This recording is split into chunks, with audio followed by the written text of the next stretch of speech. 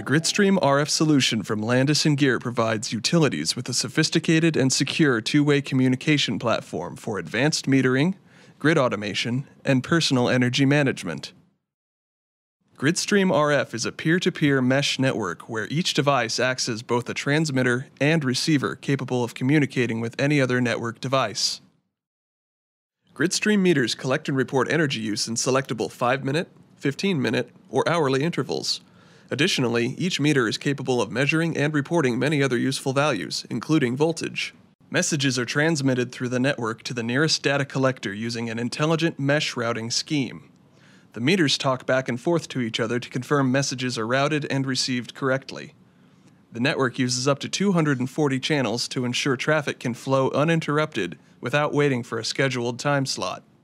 High power routers are capable of managing multiple incoming and outgoing messages at the same time. With 1 watt of power output, the router greatly extends transmission range and speed between meters and the data collector. The data collector uses the same technology to manage data transmissions from up to 15,000 meters simultaneously and is continually processing customer usage patterns, distribution interruptions, and status events delivered by each meter.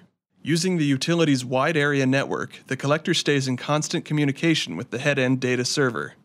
Gridstream Command Center is the head end software that provides command and control of all network operations for meter data collection, storage, extraction, and reporting. Command Center offers the ability to schedule operations or send on demand commands to meter groups or individual meters. A command, such as a message to reconnect power at a service location, can be sent in a matter of seconds. With reliable connectivity to devices throughout the distribution network, Gridstream serves as the backbone of the intelligent grid.